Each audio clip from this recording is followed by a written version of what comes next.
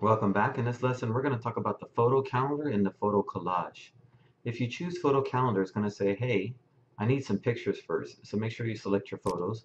I'm going to select 1 through 11. We're going to need more than 11 photos for this calendar, obviously, because there's 12 months at least.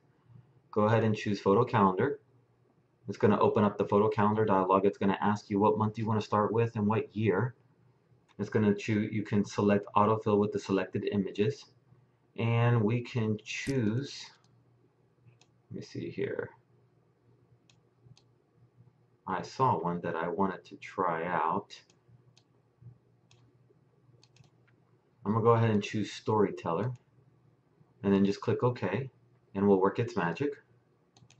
Okay and once it's done you'll see here this is the title. You can add the title here. You can double click on it to add your own title to add your own text. Date here it has four little photos which is nice then you can see this would be your January photo, which is nice. You can zoom in by pressing Z or use the zoom tool. And what's nice is, if you zoom in close enough, you can, let me select the move tool, you can right click on the one and say add event and we'll say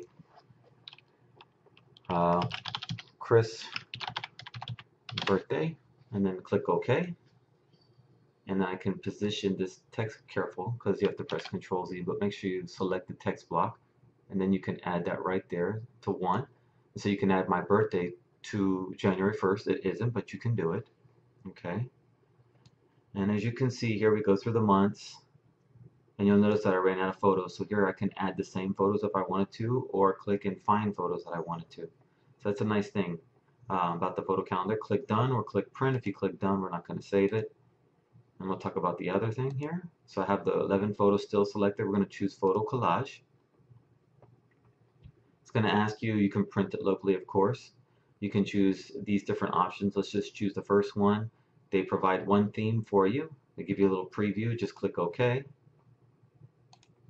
And then there you have the photo collage. You have the same options here, layout, artwork, and text. Okay.